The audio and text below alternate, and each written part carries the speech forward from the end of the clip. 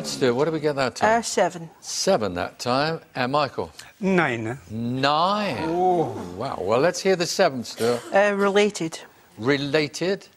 Yes, and a nine? Regulated. Regulated. Very good. Very good. Right, that's a goodie, that is. Are, are we going to have a job beating that in the corner?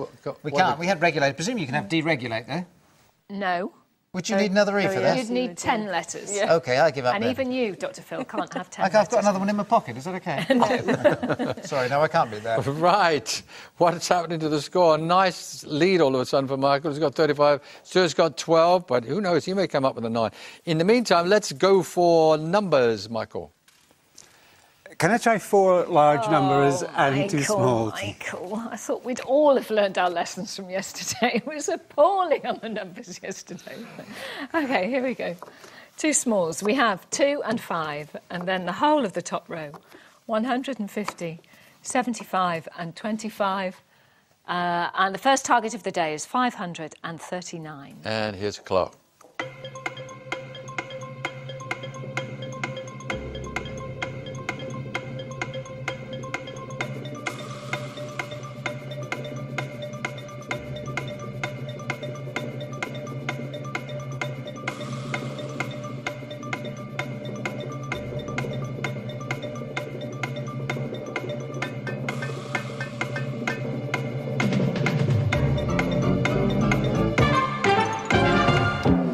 Five, three, nine, Michael.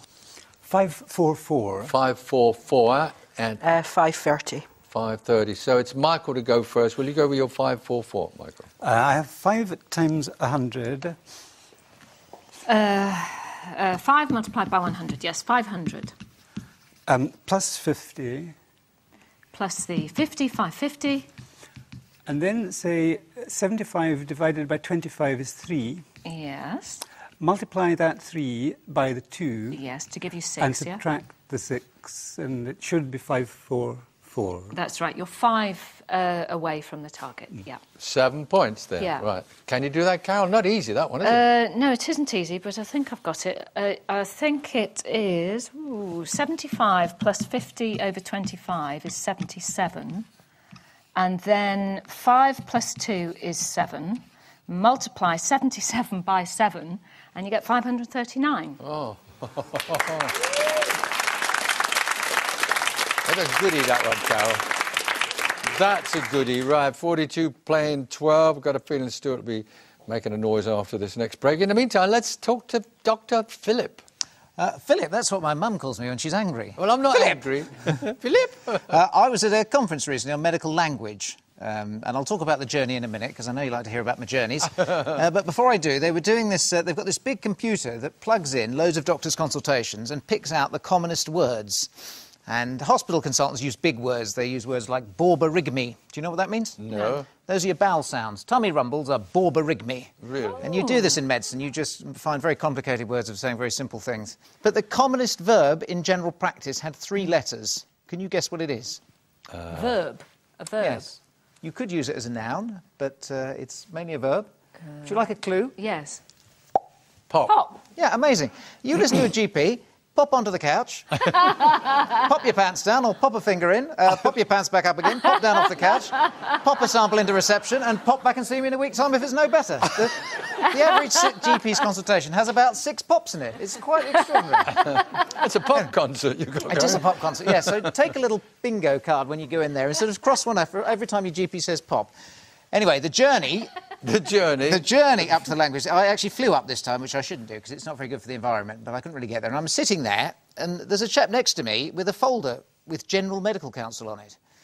And I thought, this is a bit scary because these are the people who regulate doctors. And I thought, golly, they finally caught up with me. Um, anyway, I was, ch- I was chatting to him, saying, what are you doing? And he said, we're working on a new ethical code for doctors. They do this thing called duties of a doctor, which defines how doctors are supposed to behave in front of patients. We're supposed to make patients our first concern and always tell the truth.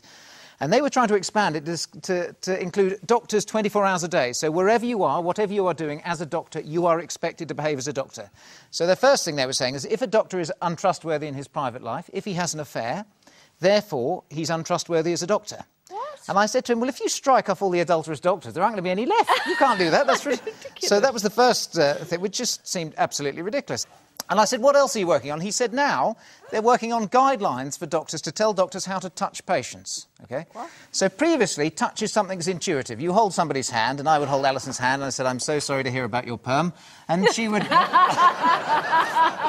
she would look at me, and that's what we call assumed consent. I assume Yeah. that she wants me to hold her hand. I haven't asked. I haven't asked her explicit consent. These days, apparently, we have to ask patients. So I would have to say, Oh.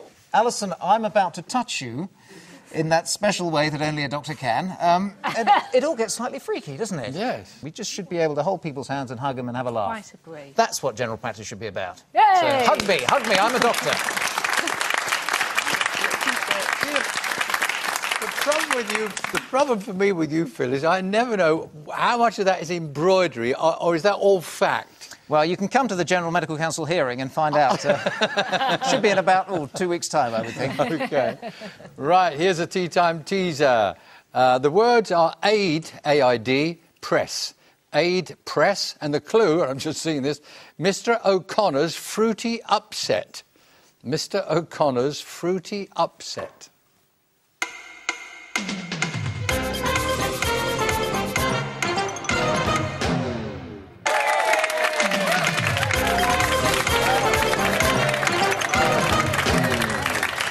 Right, the words were aid press and the clue Mr. O'Connor's fruity upset and the answer despairs or as it's spelt despairs. Yes, I don't know who writes these, I don't write them. Right, what's happening? 42, Michael Stewart's got 12 on the board and he's going to see how he can improve his score with these letters. Uh, I'll start with a consonant, please, Carol. Thank you. B. And another. Another one, Stewart. R. And a third. M. And a vowel. I. And a second. A. And a third. And E. And a consonant. Z. That's nice. And another. D. And the final vowel. And a vowel. Thank you, Stewart. That is you. And here's the clock.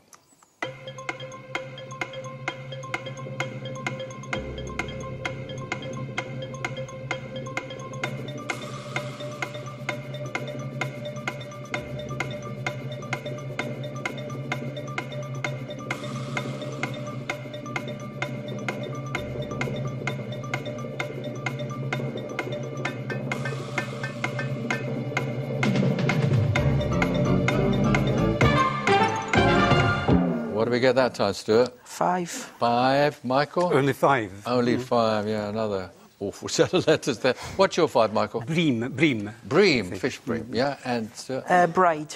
bride, bream, they're both fine. What have we got in the corner? A lot of looking going on. What have we got? Oh, I can't been believe this is the scouring word. book. Yeah. Um, there's a seven there, which is rumbaed. Rumbaed. Yeah. Is that to do the dance, rumba? Yeah, to dance the rumba. They rumbaed all night. R U M B A E D. Rumbaed all night. Ding dong, that's- yeah. Have you rumbled all night? I can't recall. right.